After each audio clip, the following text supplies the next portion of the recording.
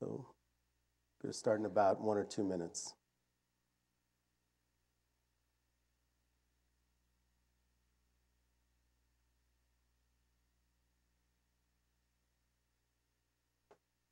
No. I see. Yeah. okay, I think we'll go ahead and start. Welcome to the Aspen Ideas Festival and to the Thomson Reuters Knowledge Exchange, our topic this morning is social, uh, social media, social, social world. I'm Charlie Firestone. I direct the Aspen Institute Communications and Society program, a policy program looking at the impact of communications and information technology, and I'll be your moderator this morning. Um, so, social media, what do we mean by it? Um, we've been in social media all our lives in person to person communications, parties, work, home. But what something's different now, and what is that? And uh, clearly, uh, the interactive electronic media has made a, a, huge difference. It's changed us from one to one uh, communications to one to many, and now to many to many uh, communications. Um, so the elements that uh, we, as I define it at least, is the blending of technology and social interaction for the co-creation of value. And a lot of talk uh, these days about uh, user-generated uh, content. Um, but value to whom? You know, the internet started as a research medium, and uh, actually by the military, it became a commercial boom. Again, we're seeing that here with uh, social media, where uh, today, let's you know, Facebook has over apparently over 700 million, 750 million people who have signed up in some way. Now, obviously, not nearly anywhere near that number use it, but think about what connects 750 million people in the world today. And uh, uh, other than a country, uh, and we have two countries in the world that large, uh, and then Facebook. Um, so, as we, uh, you know, just a few of the statistics, uh, social networking now accounts for over 22% of time spent on online in the United States. It might be a much larger. That's actually uh, maybe a dated figure. Uh, a couple of days ago, the Twitter founders um, said that there are um, a billion tweets every six days. Uh, the, the, the, largest growing population getting on social media is the uh, 55 and older. And 65 and older grew 100% last year, uh, so that one in four people in that age group are now part of some social networking. So we're looking uh, at how social media is used personal and collective uh, for good works and for commercial, uh, and maybe even uh, some negative aspects for organizing, protesting, and even destroying. So this panel will look at the good and the bad of social media. So to address this, we have a great panel. Uh, to my right is Bob Schukai, who's head of global mobile technology for Thomson Reuters. He has a past uh, uh doing uh, social media for uh, Turner Broadcasting, and prior to that, a distinguished career at Motorola, culminating in heading up 3D, 3G strategy and business development. Um, next, we have Sherry Turkle, who is the uh, Abby Rockefeller Mousey, I should have gotten, Mose, uh, professor of social studies and science uh, at uh, MIT. She is a very distinguished uh, psychologist and has written a uh, trilogy of books on her studies of people dealing with this kind of technology, people and technology. Life on the Screen is uh, classic, but she has a trilogy in that area and uh, uh actually has a, a more uh, recent book, um, which is uh, Alone Together, which is great. She has great titles of her books, like they're the best. next is Bill Powers, who also is great at naming his books. Hamlet's, Hamlet's Blackberry, a bestseller, a New York Times bestseller. He has a distinguished career in journalism and has also uh, served on a Senate staff. Um, next is, is Emily Jacobi, and she's co founder and executive director of Digital Democracy and a human rights. Uh, she's worked at other human rights organizations and also Internews, uh, which is a great organization uh, in the past. So she's young as she is, seems to have a long and distinguished career in this in this field. And finally, uh, Vivian uh, Schiller, who is head of, uh, she's chief digital officer. Let's see. she's about to become chief digital officer of NBC News. Uh, we know her, she's a familiar uh, speaker here at Aspen. Uh, she uh, last was the uh, CEO of National Public Radio. Uh, before that, has distinguished journalistic career, Uh, Discovery Communications, Turner Communications, uh, at CNN, and, uh, and also notably headed NewYorkTimes.com. So to start us off, I'm going to ask Bob to uh, just give us an overview of social media and particularly the combination of social media with mobile technology. So you've got two huge trends coming together. You absolutely do. Thank you, Charlie, and good morning, everyone. We truly do live in amazing times. When you look around, it's a confluence of two massive things taking place the explosion of social media and the number of mobile phones that continue to be shipped year on year. This year, as an industry, we'll sell 1.6 billion mobile phones. A huge chunk of those will be smartphones. We spend a big chunk of our life, excuse me, being connected. We're checking our status, our email. Most of you right now aren't even listening to me because you're tweeting or doing whatever the heck you're doing. Am I right? It's true. But in some ways, this is a wonderful thing, right? Because we look at the Arab uprising. How did that story take place and unfold? Via Twitter, Facebook, citizen journalism. The entire bin Laden story went down because a guy in Pakistan sat there and noticed some weird things going on around him, tweeted, and became an instant celebrity. But with this comes a bit of a challenge.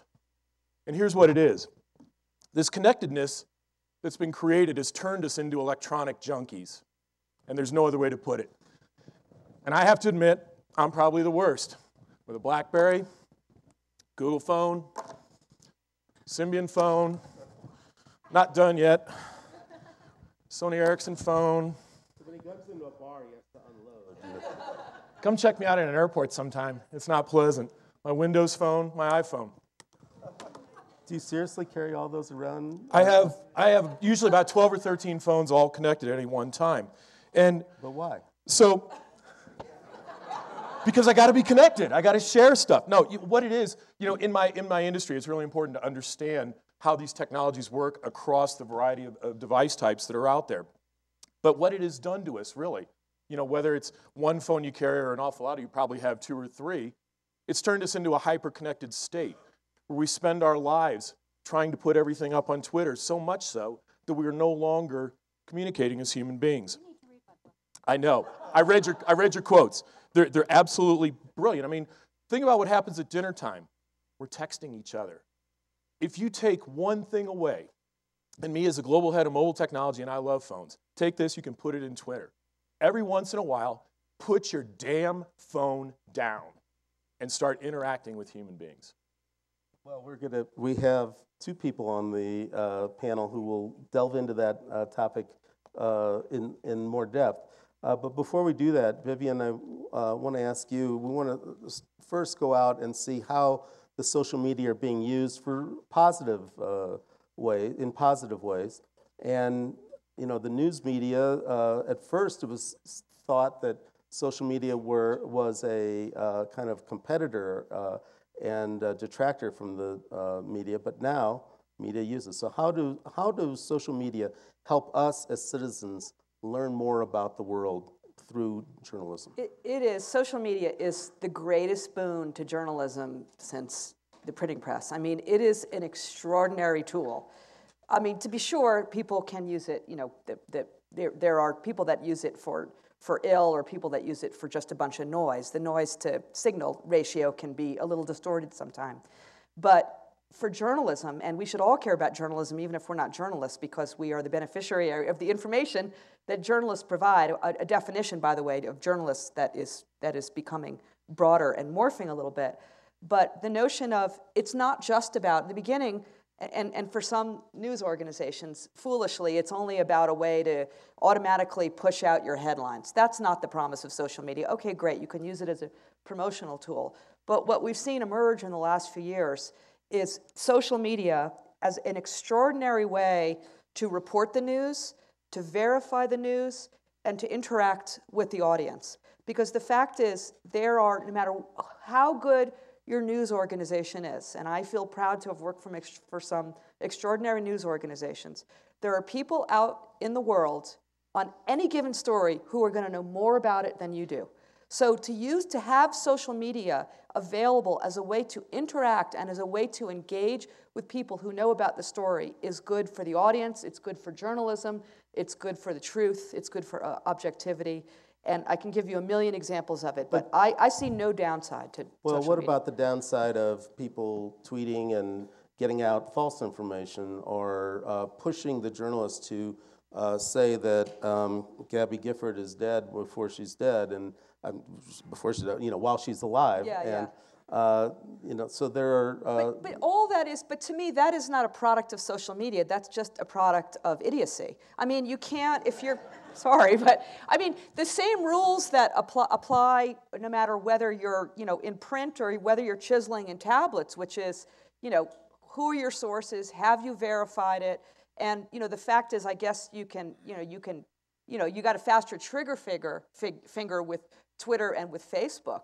Um, but you know, so we're human beings. We need to try to resist that urge. But in terms of putting putting out false information, again, I see only a benefit because of you know the so-called wisdom of the crowds. I say wisdom because sometimes the wisdom isn't so wise. But if you put out false information, because there are so many people who are interacting with you, you will be able to. It's easier to shoot down false information than, than, than ever before. Many news organizations are struggling with, you know, code of conduct and ethics and all of that. And, you know, we're all writing these elaborate, you know, rules, do this, don't do that. But it really all boils down to just don't be stupid. Okay, so Emily Jacobi, you've been out uh, doing this digital democracy, particularly in the developing world. How is uh, social media uh, helping the developing world and um, in, in terms of enhancing their uh, their um, you know ability to live good lives?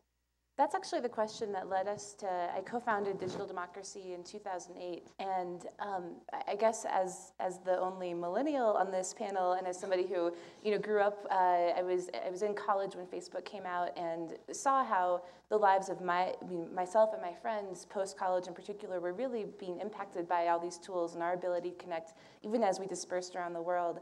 Um, a couple of years later, so my background was in youth journalism and youth media. From a young age, I'd been engaging with how media can help amplify the voices of people whose voices aren't always heard. So, in particular case, young people's voices. And in 2007, I was doing research on the Thai Burma border, um, working with Burmese refugees, um, young people. We interviewed 100 young people between the ages of 15 and 25. And we found a correlation between internet access and self identification as activists. Um, and in the qualitative interviews, they really spoke about how if they were, even if it was through their mobile phone, even if it was just once a week at the refugee camp through the cyber cafe that they were able to get online, that demonstrably impacted their lives. It helped them feel more connected, more hopeful about the future, um, less isolated, and less depressed. And so the question for us moving forward is how do you harness these tools to really empower groups like refugees, uh, women's groups, um, all these marginalized communities to have, to have a seat at the table? And then later that year, fall 2007, there was a, um, the largest uprising in a generation inside Burma, also known as Myanmar. And Burmese monks and lay people protested, had the huge um, numbers of people in the street, 100,000. And that was all organized because of mobile phones and because of the internet. It was not possible otherwise. And the Burmese government set a precedent that we've seen borne out in that when they cracked down violently against the protesters, they shut down the internet and mobile phones for five full days. So you have the twin opportunities and the incredible dangers. You know, these tools heighten our connection and also heighten the risk. And um, you know, in 2007, when we first started, that was a new concept. But now in 2011, we see that's borne out across the world, and we've seen you know friends of mine, young people in countries all over the world using these tools. So for us, the fundamental question is, how do we harness these tools for a positive impact? Great. So uh, Sherry Turkle, a psychologist and has studied this for, for many years, um, sounding like social media is just a great thing. It's empowering. It's getting people out of their isolation. What's not to like? Well, I don't think it's a question of what not to. excuse me. I don't think it's a question of what not of what's not to like. I think I think of it in terms of affordances and vulnerabilities. These technologies have extraordinary affordances, and then we have human vulnerabilities. And when we understand our human vulnerabilities, we can better use these technologies to empower us.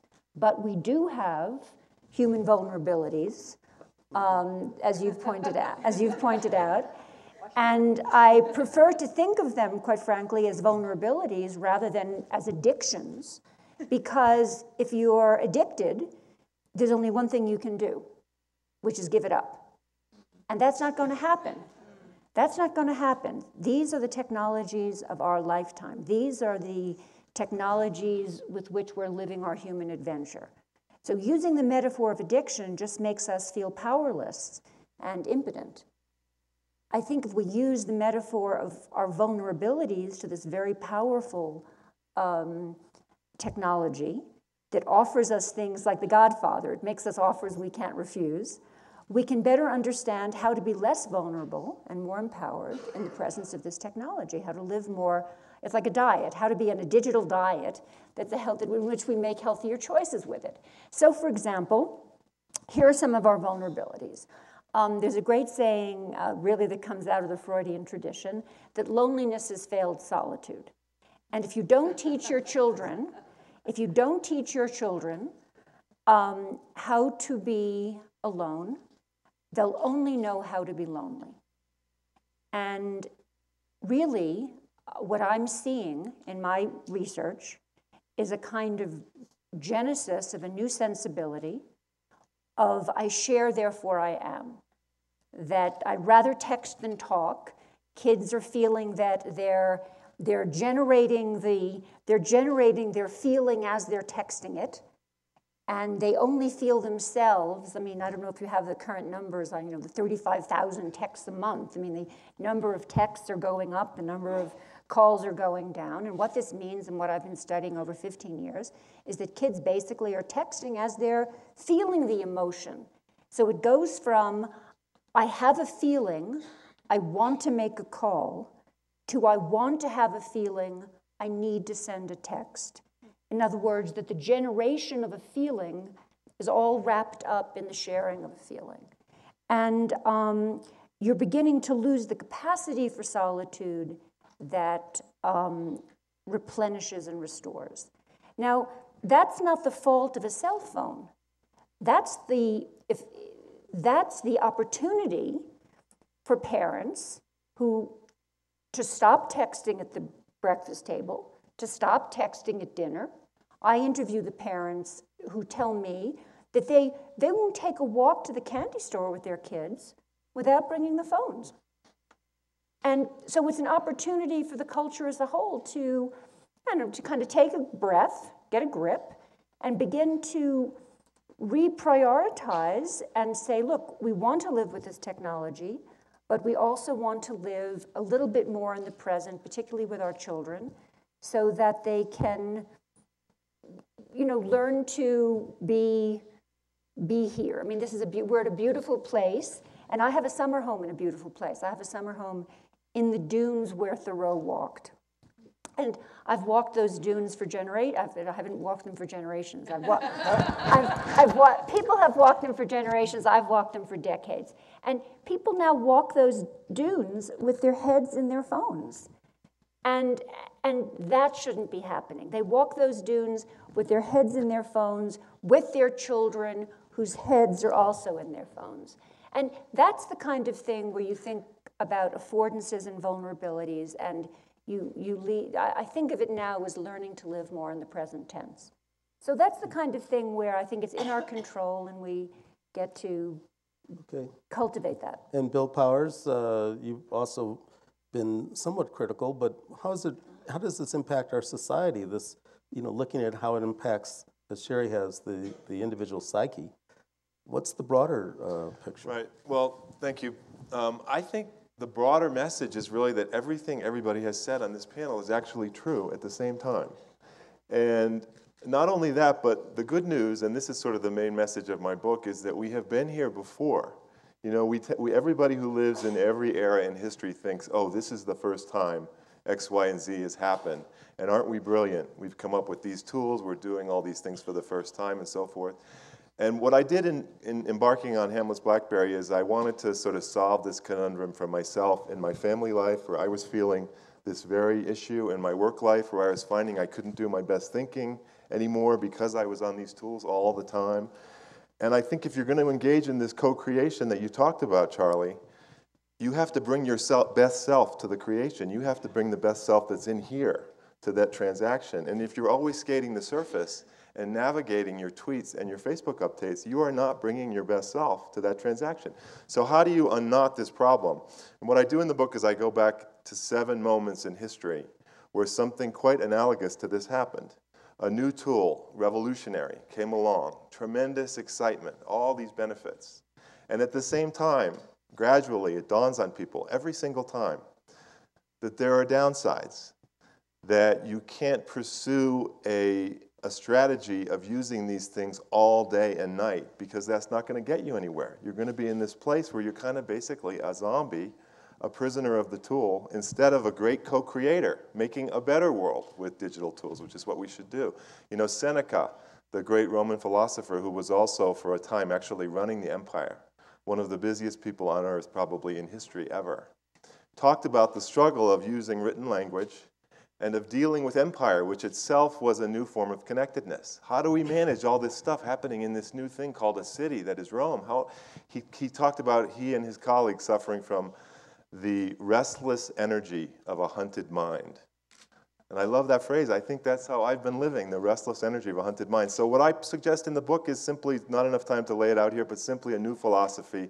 I think we've been living by a philosophy which Bob's phones are sort of a symbol of, of the more the better. I call it digital maximalism. You can't get enough of this stuff 24 7. And I just think we need a more common sense human philosophy of balance, of offsetting all that connectedness every day with some disconnectedness, with solitude, or with direct conversation with people right in the same room with you, your family, all of you with us here now.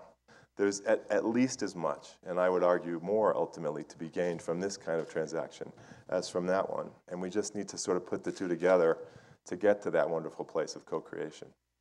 So, uh, Bob, the, you know, took a little hit, uh, all, all these phones, but how do you, um, how do you see the benefit uh, to you of using uh, social media in, in your own empire? I mean, we all have an empire today uh, to, to run, to deal with, to uh, engage. Um, and you know, do you feel like, are you feeling like you're, well, you did start at the beginning say, hey, we, we need to stop too, but you're, you seem to be rolling. I, I do, and I, and I love it. In fact, while we were talking, and I, I paused for a second because I had to check in on Foursquare. So that's been sorted out. Um, I did. I had forgotten to this morning, but I'm on. Um, I, I think, you know. What does that do for you? What, what is checking Why- into Foursquare? So yesterday, yesterday, uh, De- Dennis Crowley and the Foursquare guys introduced the brand new 10100 badge, meaning you have checked in a thousand times. So with my check-in yesterday, I was already way past thousand. It was a new, it was a new badge, and so it's it's a bit of a gain to some extent. And So, so, you get benefit. You you uh, are seen as someone who uh, has uh, achieved in this area, or has, uh, in other words, what we it doesn't talked. motivate me. I don't really care. I mean, I'm the mayor of 28 places in Foursquare, whatever the number is. Who cares? I mean, in the big scheme of things, who cares? Now, the thing that is actually kind of funny about all this connectedness stuff, I mean, we, we are living in a way where we are truly hyper connected. And, you know, we can talk to people anytime, any place in the world. You can stand on the Great Wall of China at Badaling and get better signal than I get in my house in Atlanta, Georgia, which is a pretty amazing thing when you think about it. But here's kind of the interesting thing about all this. In spite of us being very, very hyper connected, air travel has not dropped. People still travel. Why? Because we still have that emotional need to connect with people on a one to one basis, to shake their hand, to see their eyes, to see the facial expression, because you can't necessarily extract emotion from a pithy 140 character tweet. But we're gonna, you know, we're going to be having video social networking. We're going to be able to see people, and, and I, that's my next question is, and, and then I want to go to the audience because we have a lot of very knowledgeable people uh, in the audience, probably some more mayors. Um, but um, but uh, where, where do we see this going in, uh, in terms of? I, I, I'll, I'll show you, uh, there is a cost, uh, I, I agree very much that we see um, uh, increased desire to come together in places like this, even as, uh, I, I'm very moved by what you were saying, that, you know, the, the, the old journalism rules, who, what, when, where, why, how, and checking don't die just because you get social media. I agree completely, and we're moved very much to come to places like this, even though we're online. But let me just bring very down to earth the kind of cost that I'm talking about. I've been studying birthday parties of 15 year olds. Why birthday parties of 15 year olds? Here they all have their social media. They all are, they're as, they're as big on Foursquare as you are, maybe not as many mayorships as you, but still. Um, why, why birthday? Because birthday parties of 15 year olds is the perfect place to study what I call the bailout phenomenon that's, that social media provides. Anybody who, who's had a 15 year old or knows a 15 year old or who's ever been 15 knows that there's a point at a 15 year old birthday party where everybody wants to leave because it gets very hard. Because you have to talk, particularly if it's a co ed party, you have to talk to the other people. And it's very hard and it's very awkward. And you want to go, they want to go. But if they don't go, and if they force themselves to do this, they get closer by the end of the party to being 16. And something developmental happens that's very powerful. And at the birthday parties I'm studying now, you know, I'm an ethnographer, I'm a, I'm a fly on the wall, I don't, you know, ask them probing questions. I, they open their phone, they go onto Facebook, and they haven't left the party, but essentially they've left the party because they don't have to talk to each other. And it's what happens at funerals. I'm studying people texting at funerals, or texting at dinner parties, or texting at all the moments in relationships where, where in conversations where something gets hard and you take out your phone. All those moments that we don't have to be present to each other now. And 15 year old birthday parties just happens to be like a great case. So there's something, there's, even though we are still craving more getting together at the same time that we're doing more social networking, there are these subtle ways in which we're allowing ourselves these bailouts, and it, in businesses as much as in personal life. I mean, I would argue that for every example I have for personal life, I have business examples and corporate examples where people are not being present to each other in ways they need to be. And if I could just jump Yeah. in on that, you know, the, the businesses are beginning to realize they're paying a bottom line cost for this. The most recent study shows that a 1,000 employee American company is losing $10 million a year to distracted workers because of this issue of recovery time. It's called recovery time. When you leave task A and go to task B, when you try to go back to task A, there's this long period of reimmersing yourself. Where was I? Getting your focus back. That is not efficiency, which is what these tools are supposed to be Well, on the giving us. It's inefficiency. Sure, but on the other hand, you have companies that are putting out questions that get access knowledge both within their organization and outside the organization that uh, put up questions and get knowledge uh, back and are very, and that has turned out to be a very efficient way of uh, innovation and progressing within an organization. argue, and perhaps as a subject for another panel, that for every distracted moment you have at work because you are uh, doing something that has to do with your personal life, you have maybe, or maybe I'm just speaking from my own experience, you have two times the moments where work is interfering, work is intruding on your personal life. And so, you know, it all becomes just a 24 hour blur. Well, is, hasn't social media actually fostered this 24 7 mentality that we, I mean, uh, we, we've kind of seen that. Let's get into the audience. Let's ask the audience to get some questions right away because uh, uh, if we can get a mic right over there, because I, I think this is being um, recorded. Please say who you are, uh, and we'll call first on Don Tapscott, who is right, right here, up front. Oh, I'm sorry. Okay, you've got, you've got, it. okay, so you've got the mic, so say who you are. Good morning. Good morning. Uh, My name is Abigail Wenner, and I live in Washington DC. And actually, I work in the corporate side and work with senior executives who are running companies and are struggling with the dichotomy between the senior executives and the older baby boomers and the younger generation coming in.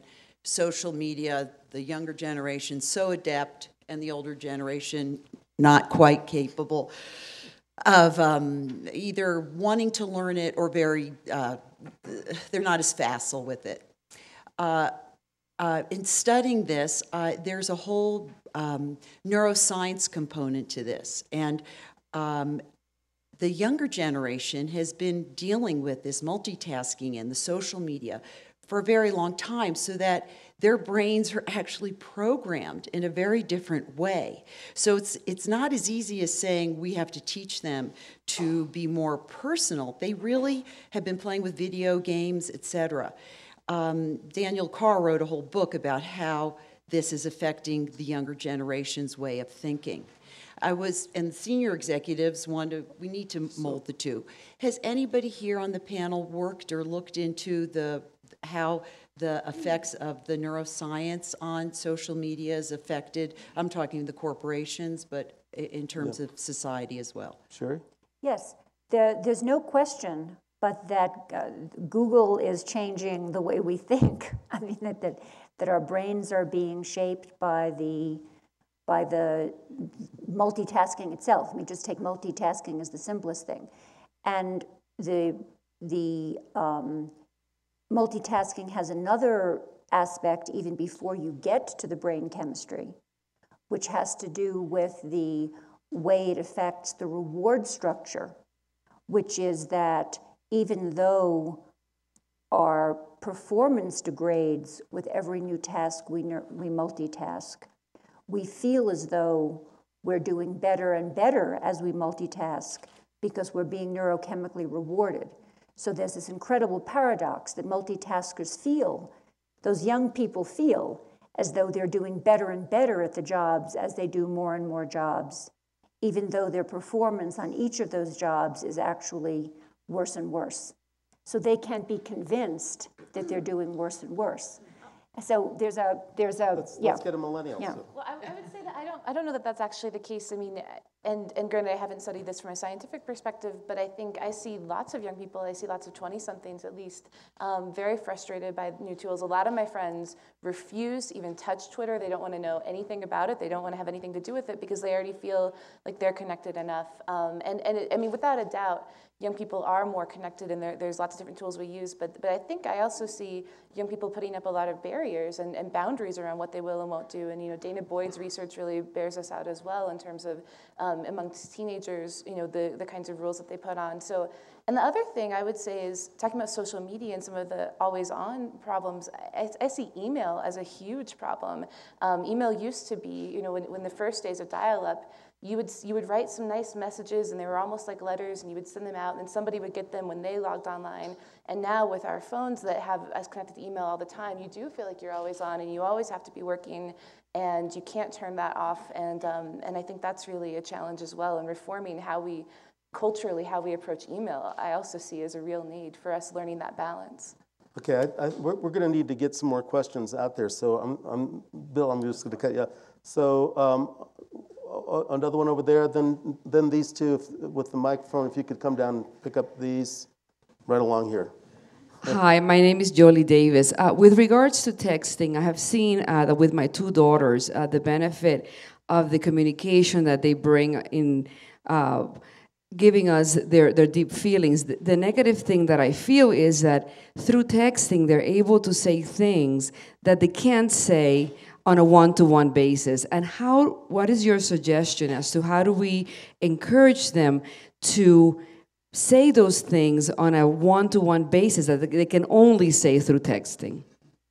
So I, I think, I think that's a little, you know, I don't worry about it personally. I have, I have two kids, 13 and 10, who are texting machines, you know, and, and, and yet you, you, you make the time to interact personally. You know, it's, if, if, we, if we just stand back and let people do what they're doing, then we're just as responsible and just as guilty for promoting that kind of behavior. It's all, it's all about the personal responsibility that we have as, as parents, as relatives, as friends to say enough is enough and to create that personal connection. I personally don't worry about it. In fact, I think the hyperconnectivity, by and large, is a good thing. By and large. But, but you have to have things in balance. And in fact, Peter Jackson ran a, ran a great session the other day from, from Thomson Reuters, and, and he talked about it. It's no longer a work life balance, it's a work life blur. And he's absolutely right. And, and so, to your kids, all you, all you got to do is just get them to express themselves in other ways through art, through music, things like that. Aaron Dworkin ran a beautiful session yesterday on art and music. And when he talks about the way that music expresses yourself, you, you've got to be able to encourage kids to do something other than hold the phone in their hand. Back to what I said every once in a while, put the damn phone down. Okay, let's get the microphone up. And uh, next one. Yeah, uh, my name is Don Tapscott. Just a nit on the Great Wall of China. I was there last week and the connection was pretty good, uh, but I couldn't get on Facebook, Twitter, YouTube, or a whole bunch of other things. So I don't think you can look at this issue without looking at the generational differences on, on every front. In terms of the brain science, uh, you know, I think there's a growing body of knowledge that says that young people's brains are different and that they're more able to so-called multitask. It's actually not multitasking, it's better active working mem memory and better switching abilities. And in the workforce, I think it would be a terrible mistake to imply that social media is, is somehow bad. I mean, my research shows that companies that embrace uh, industrial strength social networks and uh, microblogging and Twitter and wikis and jams and ideation tools and so on actually perform better. They have better metabolism, they have better innovation, they have better relationships with customers. And in a sense, this is becoming a new operating system for business. And social media is really becoming social production. It's a new mode of production. And in the workforce, young people do work differently, and there's lots of evidence to say that we ought to be learning from that and changing our models of work because in their culture is a new culture of work that's a, a more high performance culture. So uh, Don is going to be speaking later. Uh, he's the author of Wikinomics and some other books. I think, let, yeah. Yeah, I just wanted to say that on the companies, I mean, I have no doubt that there are many, many companies who are doing fabulously with these technologies. They're the ones who are using them smartly and wisely. But I would I say I would venture to say, based on my experience of the last year of talking to a lot of companies, I think most of them are kind of lost and at sea and trying to figure out how to do it wisely and not lose that $10 million a year to distracted employees. And so I think we're, you know, we have to realize that we're at the beginning of this. It's a learning curve and we're learning together. And we're kind of, I think we're kind of not that great at it so far, but we're getting there. We're working on it, we're improving, and it's all about being smart at home and at the office and putting the tool in the proper place and Good. perspective. We're going to multitask a little bit now. So Peter, Miriam, and uh, that person there, and we're going to hear comments from you and then get something uh, back from our panel and, and have to wrap it up. Uh, Peter Jackson. Um, we talked about presence versus non-presence, but we haven't talked about synchronicity. I think one of the things that's really interesting and powerful about social media is that it's something can, that can happen in real time, whether it's texting or chat, or it's something that can happen more like email in an asynchronous fashion. And in, you know, there are situations where presence is overrated. So you know, you don't always get to find that person you want at the cocktail party. You know, you don't always get to sit next to that person you'd like to sit next to on the bus. Whereas, you know, through social media, you have a lot more options. And I think some of the problems that, that we're facing, you know, uh, we, is a matter of control. It's a matter of self-discipline and learning how to use these devices better. But on the upside, I see just nothing but huge convenience.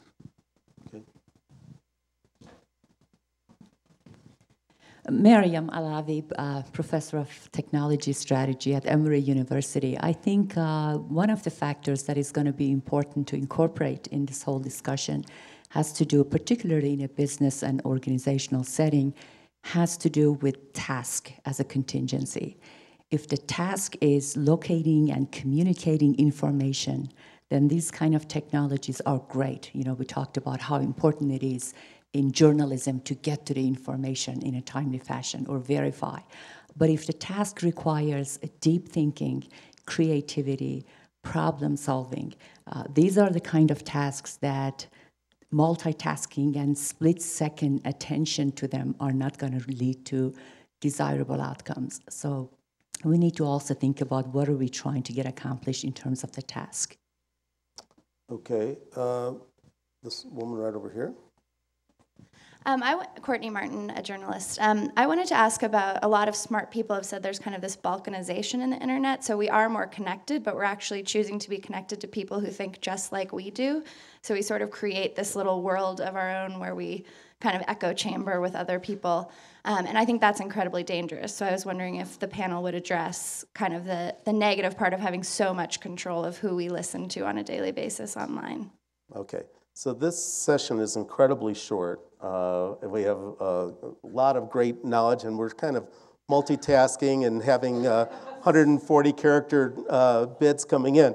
But what I want to do is uh, uh, kind of go back uh, around, starting with Vivian, and answer any of the questions and sum up your, your point on social media. Well, actually, I'd love to address that because it's a very interesting issue, particularly in, in, in journalism. Uh, if you are a journalistic entity, of course, it's a boon because you can more easily reach the people who are most likely to like you and want to be connected with you. But I totally agree that the, the danger from, from individuals, I, I don't know that this is the organizations that can do this, is for individuals, is that they will become so attracted and go deeper and deeper and deeper into, the, uh, into following the same people that it does become uh, a, a, an echo chamber. But the flip side of that, and I guess the good news, is that you begin to see in places like comment streams on Facebook, which personally I've found have been much more productive kind of discussions than even comment streams that happen on, on a news organization's website um, because of identity. But that's a whole other issue that you, you really begin to see a robust discussion. And I've been more encouraged by some of the discussion, the online discussion I've seen with people bringing different perspectives to the table. So, so you know, as we've said, we're in so the beginning of this, but that's a risk that I think we need to be mindful of. So I just wanted to use my time to address that issue because I think it's an important one. I also think that's a really important issue, and it, and it ties in a little bit to your point about tasks. Um, and for us, the foundation, is, as we developed our programs and worked in partnership with grassroots groups who often are, are getting, uh, certainly onto social media for the first time, they may have a little bit of email already, they may already do texting, uh, SMS just amongst themselves. Um, we really focus on digital literacy. So understanding what are the tools and how do you use them and to what effect and to what impact. And, and I think that we need that here too, even though we might um, in the United States you know, know about a lot of tools, often people don't understand what how you can leverage a tool for a particular purpose. Um, and then in terms of the echo chamber, I think it's, it's just critical to really actively be seeking out other voices and to be listening to other voices. And so a lot of our work, again, is about helping people whose voices are really strong and have really powerful things to say but are not normally heard use these tools which are um, you know lower cost and which are easier. You know it's, it's it's it's amazing the ability for social media to amplify the voices of people who otherwise would never be quoted in a newspaper article to actually be telling us what's happening in Tahrir Square um, telling us what's happening uh, you know in the streets of um, of Saudi Arabia as women are driving for the you know driving in protests against the law. So so there's kind of an interesting confluence. And for the key in any society is digital literacy. Uh, yeah, I would just sum up by saying that uh, I think it's helpful at this point in our evolution of, as a digital society to remember that the most powerful tool we have at our disposal is not the one we have in our pocket, it's the one up here. And we can take that tool and apply it to these newer ones and use them more wisely. You know, I see many people have been tweeting here and, and, and updating and so forth, and that's fine if that works for you. But remember to be thoughtful about it. Before we came over here, I tweeted about this gathering, and I urged my followers to, to, to tune in if they could, and said I would be back to tell you what happened. But I haven't been with them while I've been here. I've been present here with you guys, trying to make this the best gathering I can. And I think we should move from connectedness to relative disconnectedness and back. And that way, we're going to do this co creation in the best way we possibly can. I was very struck by what Emily said about, you know, the emails too much. I mean, you, you know, and in my research for Alone Together, I interviewed uh, hundreds of uh, young people over 15 years and kind of did a cohort study and heard that story so often of people starting to feel kind of overwhelmed by the technology and facing a paradox that I'd like to address just as my closing remark. And the paradox is, is that we're telling this generation that their world is increasingly complex. I mean, that basically is the story we're telling, and we're sticking to it because it is increasingly complex. But we've created this communications culture where we're ratcheting up the volume and velocity of our messaging. I mean, and some of us have fewer phones than you, but we're still getting more and more. I mean, how many, how many messages do you get a day? 100, 200, 300, 400, 500? That ratchets up the volume and velocity. And whether it's individuals or organizations, what I've found in my research for Alone Together is that people start to simplify the questions so they can get an immediate answer back. If you want an immediate answer back, you start to ask a simpler question. It's natural. If you need, if your organization needs to get it right back, you start to ask a simpler question. So subtly, you start to shape the question to get the answer because you need to know now. So part of that adaptation is volume and velocity up. The world is more complicated, but we're asking and answering simpler questions. It's like we're all putting ourselves on cable news.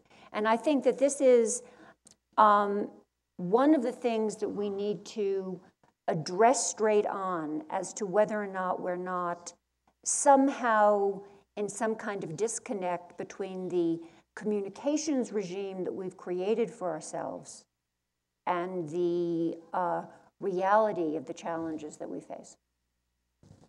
I think for me, the greatest thing about social media is the exposure to ideas and new people and new cultures.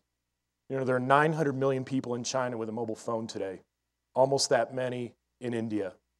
Go to Kenya, where 99% of the internet traffic is not occurring on a PC. It's coming off a mobile device.